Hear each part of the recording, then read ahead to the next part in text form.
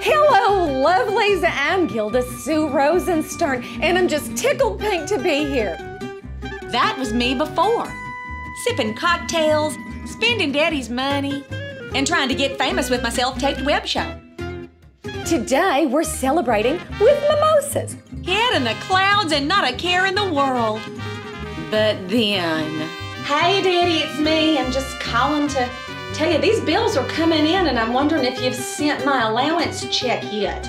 Do you ever have your phone on? Hey, Daddy, it's me. Are you not getting my messages? Hey, Daddy, it's me. Hey, Daddy, it's just me again. The bills just keep coming. I don't know if you know this, but if you don't pay them, they keep sending you more. I'm throwing all your stuff on the curb. In one week or less, you can pay up. I think you should immediately get on my face. Good Lord. My face. It's a social networking site. I don't think they could get Mr. Right off my face if they tried. Who are you? What do you want? And what the hell are you doing here?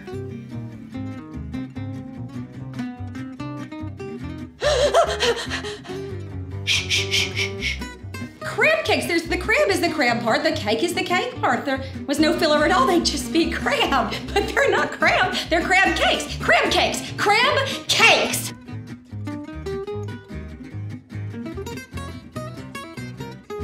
Would you like to come in for coffee?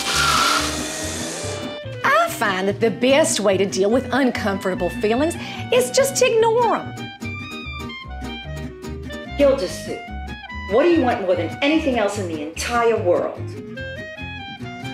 The story about my very life. Gilda Sue Rosenstern. The motion picture.